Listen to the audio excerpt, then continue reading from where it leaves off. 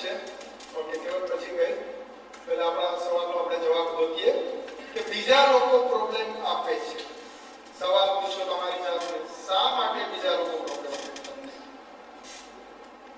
શા માટે આપે છે તમે બીજા કોઈને પ્રોબ્લેમ આપો તો તમને બીજા કોઈ આપે બરાબર છે રાઈટ બીજા લોકો પણ તમને પ્રોબ્લેમ આપે તો ઇમ્પોર્ટન્ટ ઈ નથી કે તમને પ્રોબ્લેમ આવ્યો છે એને તમે ભૂલી જાઓ. ઇમ્પોર્ટન્ટ ઈ છે કે ઈ પ્રોબ્લેમનું સોલ્યુશન શું છે? બહુ ઇમ્પોર્ટન્ટ છે આ. પ્રોબ્લેમ બીજા આપ્યો તો બીજો જઈને કમ્પ્લેન કરીએ આવ્યો ઇમિગ્રેશનમાં કે આ વિઝા વગર જોબ કરે આ આવે છે ડિપાર્ટમેન્ટમાં જ. અને ઓલા ઇમિગ્રેશન વાળા ઉપાડી ગયા તમને. તમને નામ પણ આપે છે. કે ઓલો ભાઈ, ફલાણો ભાઈ તારો દુશ્મન છે.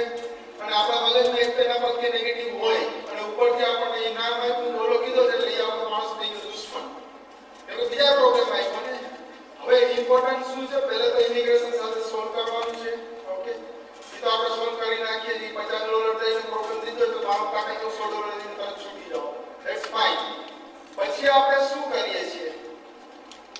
પછી આપણે દુશ્મની કાઢીએ છીએ કે જેને પ્રોબ્લેમ આપ્યો છે રાઈટ એના બારામાં વાતો કરીએ છીએ હેરાન કરવાના રસ્તા કરીએ છીએ વોટેવર હવે કરો એ બધું તમે કરી લીધું ને હેરાને કરી લીધું પછી તમને ખબર પડે કે એને તો બિચારાને કંઈ ખબર જ નથી આ બારામાં આવું બનતું હોય છે એને તો ખબર જ નથી હોતી પણ તમે તેના બારામાં કેટલું નેગેટિવ બોલી લીધું કમ્પ્લેન કરી લીધું એને એના બારામાં ખરાબ બોલી લીધું એને નુકસાની પહોંચાડી દીધું ઘણું બધું તમે એને કરી દીધું અને પછી તમને ખબર પડે કે એણે તો કઈ કમ્પ્લેન કરી જ નથી મારે તો તમે શું કરશો શું કરશો રિવર્સ તો નહીં જઈ શકો અને આપણામાં કોઈ પાસે તાકાત તો છે નહીં કે જઈને માફી માંગી એટલા તો આપણે ઓલા કાચા છીએ નહીં એ તો આપણને કોઈ શીખવાડ્યું નથી કે આપણે માફી માંગવી જોઈએ કોઈ પાસે રાઈટ એટલે બહુ ઇમ્પોર્ટન્ટ છે કે બીજા તરફથી પ્રોબ્લેમ આવે આવા તો એ એનું કામ કરે છે બે સવાલ પૂછી લ્યો આપણી જાતને કે એણે મને શા માટે પ્રોબ્લેમ આપ્યો છે અને બીજું એ કે પ્રોબ્લેમનું સોલ્યુશન શું છે કોણે આપ્યો છે એ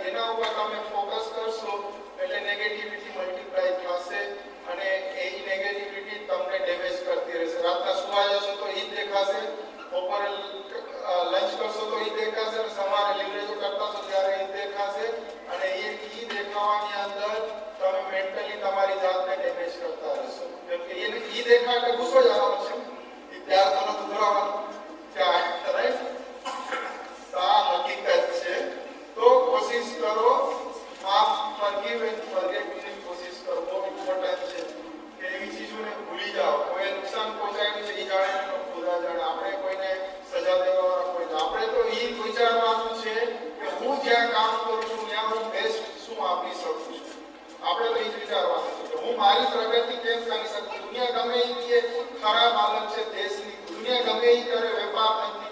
હું શું કરી શકું છું આ દુકાન માટે યા સુપરમાર્કેટ માટે યા બીરો માટે કે આમાં મારી પ્રગતિ થાય? હું મારા શેઠને શું એવું? અને એક વસ્તુ યાદ રાખજો, તમે નહીં બોલતા કામને બોલવા દેજો. જ્યારે તમે બોલવાનું કરશો, ઠીક છે, શેઠિયા તમારી નજીક હશે ને સાંભળશે. પણ એ પ્રગતિ અને તમારું કામ બોલીને જે પ્રગતિ થશે ને એમાં જમીન આસમાનનો ફરક હોય છે આ શબ્દો તમે યાદ રાખજો આપણને શોખ હોય છે આપણે કામ કરીએ બીજા કામ નથી કરતા અને ઘણીવાર એવું બી બનતું હોય છે કે આપણાથી ઓછું કામ કરતો હોય, એનો પગાર વધી જાય ને આપણો ન વધે એટલે આપણને ઓર નેગેટિવ ગુસ્સો આવે પણ આપણે કોઈ પાસે કોઈ ઓપ્શન ન હોય તો આપણે જોબ મૂકીને ભાગીએ પછી આપણે એની એની અંદર અંદર ને ઘૂંટાતા હોય એટલે આપણે આપણી પ્રગતિને રોકી લઈને ઓલો બીજા આગળ વધતો જાય એટલે આપણને નુકસાન પહોંચાડતો જાય. તમને હું શું કહેવા માંગુ છું. બીજા શું કરે છે કે બીજાની શું પ્રગતિ થાય છે, એ તમારો પ્રોબ્લેમ નથી. એ ભલે તમારાથી નીચેનો હોય, ઓછું કામ કરતો હોય, કાંઈ કામ ના કરતો હોય માવા ખાઈને પોતાની હેલ્થને નુકસાન પહોંચાડો જે કરતો એ તમારો પ્રોબ્લેમ એ છે કે તમે બેસ્ટ કરો એટલે ઓટોમેટિક એક દિવસ આવશે કે તે યુનિવર્સ જોઈ છે નેચર છે ને એનું કામ કરે છે એને ખબર છે આજે હું એ કામ કરતો હતો તો હું આશા કરીને રોજ એને રિપોર્ટ કરતો હતો બહુ સારું કામ કરું છું તો એ કુદરતી એક સાયકલ ફરતી હોય છે અને જ્યારે પણ ટાઈમ આવે ને એ ઉપરથી આપણી પ્રગતિ થતી હોય છે. એની અંદર આ બધા રોલ પ્લે કરતા છે કે આપણે દિવસમાં શું વિચારતા હોઈએ છીએ, શું બોલીએ છીએ, આપણી લાઈફસ્ટાઈલ કેવી છે, આપણે કેટલા હેલ્થ પ્રેયર એની અંદર આપણે રહીએ છીએ. આ બધી ચીજ છે ને કનેક્ટ થતી હોય છે યુનિવર્સ સાથે.